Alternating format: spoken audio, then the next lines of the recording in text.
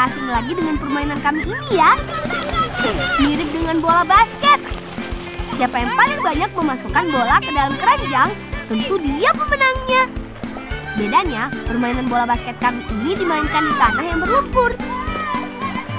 Makanya kami juga nggak menggunakan bola basket betulan, melainkan bola takraw saja. Jadi memainkannya hanya saling oper bola dan berlari cepat. Bolanya nggak bisa digiring dan dipantulkan ke tanah ya. Huh, iya, masuk. Siapa dulu dong? Bolang.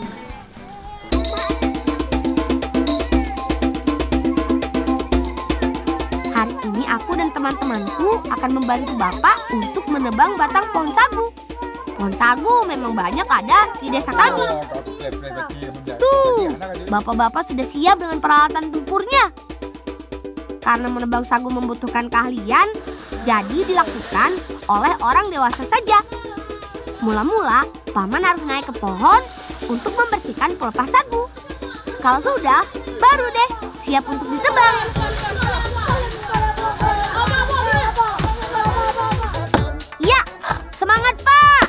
Hanya bisa bantu doa saja ya. Nah, kalau sudah dipapas bagian bawahnya, saatnya ditarik.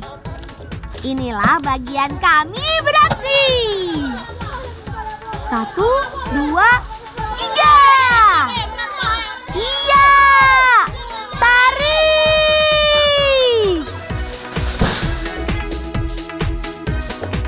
Eits, belum selesai. Yang akan diambil dari pohon sagu ini bagian inti atau tengahnya.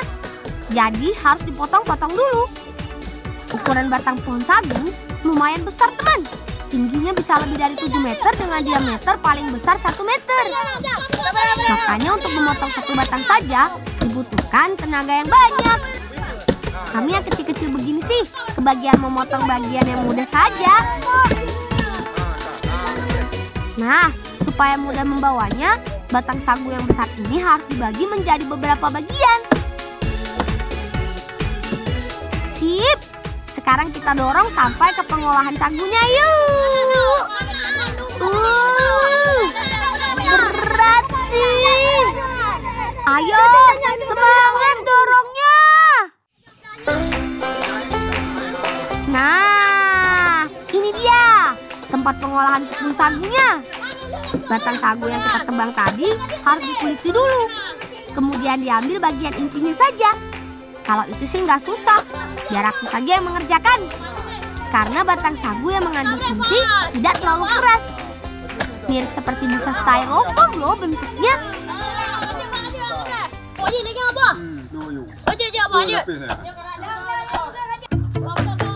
Nah, kita ambil bagian intinya yang putih ini. Setelah intinya sudah didapat, sekarang harus diparut sampai halus. Kalau begitu biar Afrizal bersama Kak Mimi dan Kak Mira yang mengerjakannya. Tak begat kak, tak begat kuih bangkit. Hmm, tak pegat kuih bangkit. Oh. Memarut batang sagu ini nggak memerlukan tenaga yang besar. Karena seperti aku bilang tadi, teksturnya empuk. Seperti busa styrofoam atau kayu lapuh. Kita hanya perlu bekerja sama seirama memarutnya. Maju, mundur, maju, mundur. Setelah semua batang sagu diparut, kemudian masukkan ke dalam bak yang berisi air. Sagu yang sudah diparut ini ditambahkan air supaya menjadi bubuk sagu. Kemudian harus terus diaduk supaya pati sagu keluar dan terpisah dari batangnya. Sagu kemudian didiamkan dalam bak supaya patinya mengendap selama 12 jam. Tapi tenang, kita nggak perlu menunggu lama selama 12 jam ya. Ada bak lain yang sudah berisi pati sagu yang siap untuk diambil. Pati ini siap diolah deh. Tapi kalau mau lebih bagus, pati sagu bisa juga diperas lagi. Seperti yang dilakukan oleh Rafa. Injak-injak terus sampai airnya keluar semua. Pati sagu yang sudah tidak tersisa airnya dijemur di terik matahari.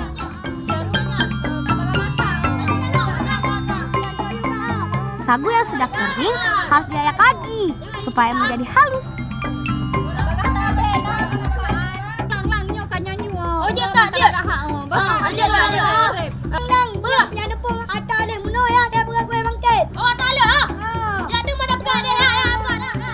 deh Rafa.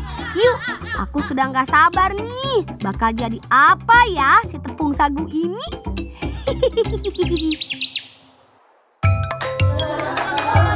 Ibunya Rafa ahli membuat kue loh. Hari ini kami akan membantunya membuat kue bangkit berbahan tepung sagu. Ayak dulu tepung sagu buatan kita tadi ya, Sahrul. Bahan untuk kue bangkit sederhana saja. Gula halus, telur, santan kelapa, dan tentu saja si tepung sagu.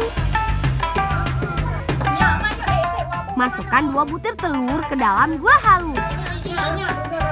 Setelah itu, kelapa yang diparut Rafa tadi diperas untuk dijadikan santan oleh Kak Mimi. Masukkan tepung sagu yang sudah dihaluskan. Lalu, tuangkan santan ke gula halus dan telur tadi. Bagi menjadi tiga bagian warna ya. Uleni sampai kalis. Nah, adonannya jadi dan siap untuk dicetak. Tambahkan tepung supaya nggak lengket di tangan. Lalu gilas tipis ya. Bentuk sesuai dengan cetakan. Ayo, Sarul, buat yang bagus ya. Selain kue bangkit, ada juga kue bungong jaro. Tapi bahannya bukan dari tepung sagu, melainkan tepung ketan. Membuat kue bungong jaro membutuhkan keterampilan tangan membentuk bunganya. Tidak cuma dicetak seperti kue bangkit. Cantik-cantik semua ya. Sekarang kue harus dibakar. Hati-hati gosong ya. Kalau kue bungong jaro, dimasaknya dengan cara digoreng.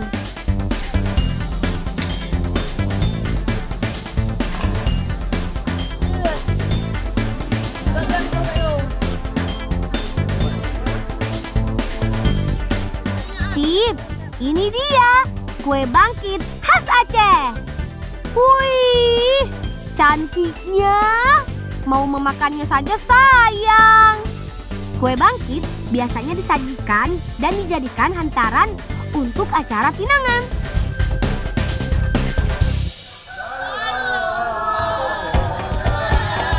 Hari ini kami akan membawa kue bungong jaro dan kue bangkit untuk hantaran pinangan paman. Iya, pamanku akan meminang seorang gadis. Dan salah satu hantarannya ya kue bangkit yang kami buat tadi. Assalamualaikum. Waalaikumsalam. Setelah disambut oleh tuan rumah, barang hantaran pun diberikan ke keluarga calon mempelai wanita. Setelah itu, tuan rumah akan menyuguhkan hidangannya. Amin.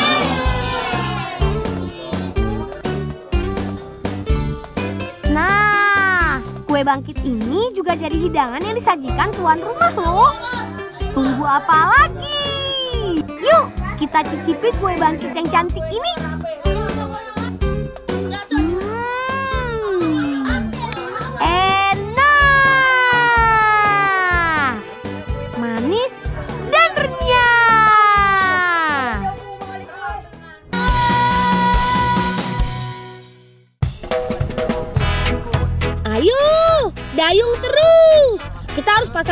Sebelum hujan turun.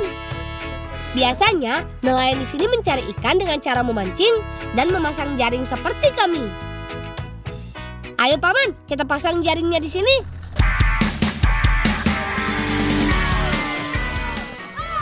Teman, kali ini target ikan buruan kami adalah ungkut bace atau ikan gabus.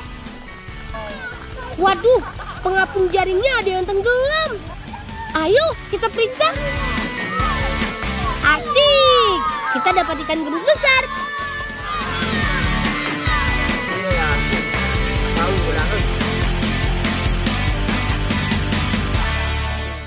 Iya, dapat lagi. Pesta ikan kita hari ini. Ayo kita mau pulang.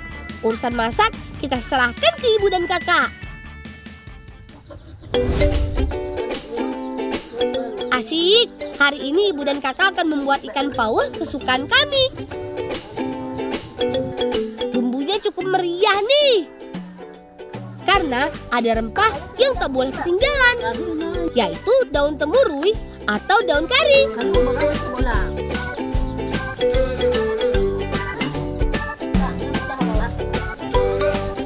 Kita siapkan bumbu halus yang terdiri dari cabai merah, cabai rawit, bawang merah, dan bawang putih, serta kunyit dan jahe. Pawel memang kuliner yang unik teman. Semua bumbu harus kita campur sebelum proses memasak. Tambahkan ketumbar sangrai dan kelapa gongsengnya ya. Terakhir kita aduk rata supaya bumbu meresap.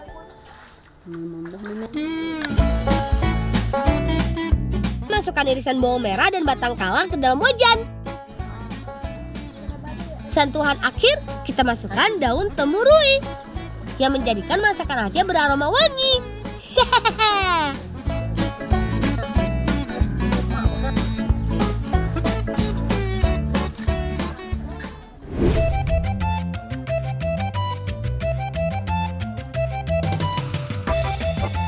Saatnya makan.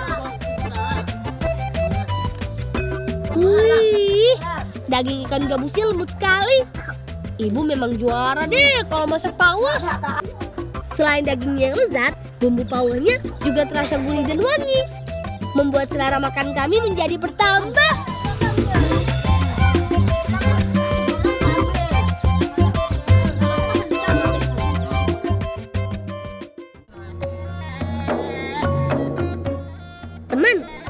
Kali ini kami menemani Kalula untuk memetik belimbing sayur. Jahitannya Boji, lagak-lagak loh. Ke Nyo pahtat, tak pegat ramuan rahasia. Belimbing sayur atau di beberapa daerah disebut sebagai belimbing hulu sangat mudah kita jumpai.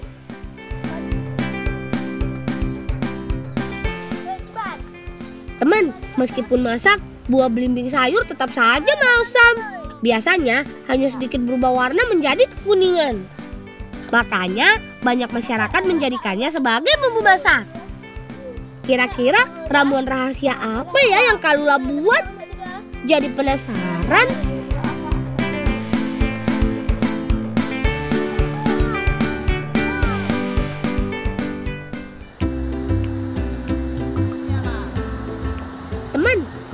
Ternyata ramuan rahasia di Masjid Kalula adalah masker wajah dari belimbing sayur. Hmm, aku kira ramuan rahasia untuk masakan.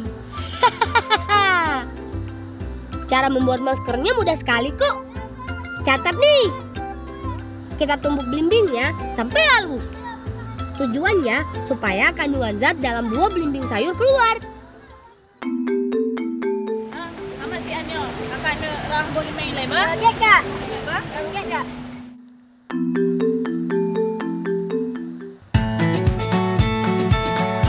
Kebetulan wajah kami kusam nih setelah seharian bertualang. Kita coba maskernya Kalula yuk. Cara pakainya mudah sekali. Setelah wajah dibasuh air, oleskan masker belimbing sayur secara merata ke permukaan wajah. Kemudian tunggu sebentar hingga mengering. Ramuan ini dipercaya dapat mencerahkan kulit dan menghilangkan flek hitam pada wajah.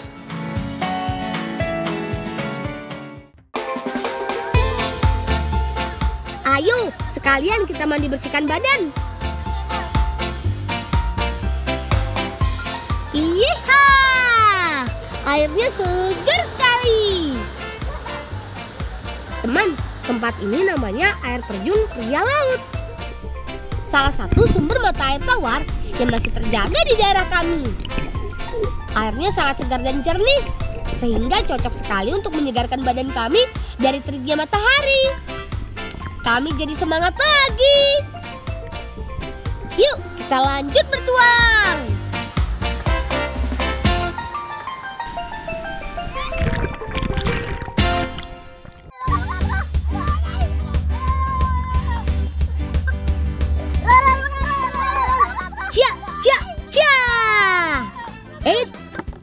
Adu jurus silat. Tapi kami lagi bermain adu cepat pindahkan lokan. Permainan ini seru dan menyenangkan. Ada pemain yang bertugas mengambil lokan menggunakan tongkat yang ujungnya lebar. Selanjutnya, oper lokan ke pemain kedua. Lokan ini harus tepat masuk ke dalam mangkok bola yang berada di atas kepala pemain kedua. Kalau lokan terjatuh, maka pemain pertama harus mengambil lokan yang baru.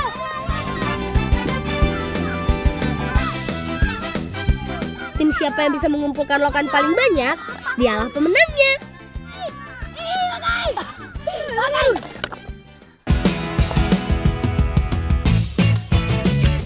Supaya tidak mudah gosong, kita panggang lokan di atas seng. Teman, pemanggangan kerang bertujuan untuk membuka cangkang keras yang tertutup rapat. Karena dalam kondisi hidup, cangkang lokan sulit sekali terbuka. Tuh, lihat, cangkangnya terbuka sendiri saat terkena panas. Dagingnya juga berubah warna kecoklatan. Ayo kita angkat. Jangan sampai dagingnya gosong. Nah, kalau mendengar nama Aceh, apa yang ada di pikiran kalian? Pasti kebayang lezatnya mie Acehnya kan? Daripada cuma bayangin aja, ayo kita masak mie Aceh bersama Kalula. Mie Aceh kali ini spesial karena akan kita tambahkan lokan sebagai campurannya. Selain mie kuning, kita harus siapkan berbagai macam bumbu khas. Ada cabai merah, bawang merah, bawang putih, kemiri, kunyit, garam, dan ada bubuk. Selain itu, ada beberapa sayur yang harus disiapkan. Antara lain daun bawang, sawi, tomat, mentimun, dan jeruk nipis. Langkah pertama, kita haluskan dulu cabai merah, bawang, kunyit, dan kemiri. Supaya mudah diulek, cabainya harus dipatahkan kecil-kecil.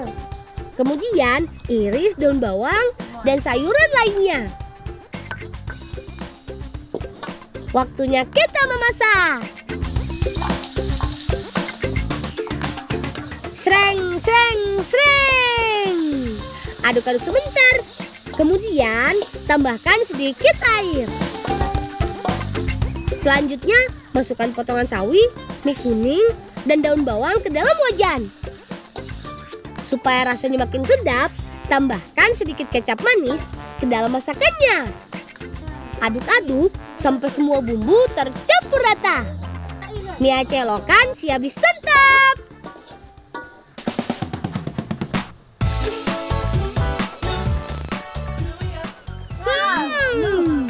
Kalau sudah pernah makan mie Aceh, pasti tahu dong nikmatnya. Perpaduan rempah-rempah ditambah pedasnya cabai membuat badan langsung segar. Apalagi ada daging lokan yang gurih. Membuat mie buatan Kalula komplit rasanya. Daging lokan merupakan protein alami yang menyehatkan. Selain itu, berbagai macam sayur dan rempah di dalam mie Aceh banyak mengandung vitamin yang baik untuk tubuh. Kalian mau? Ayo berkunjung ke Sabang, ujung barat Indonesia.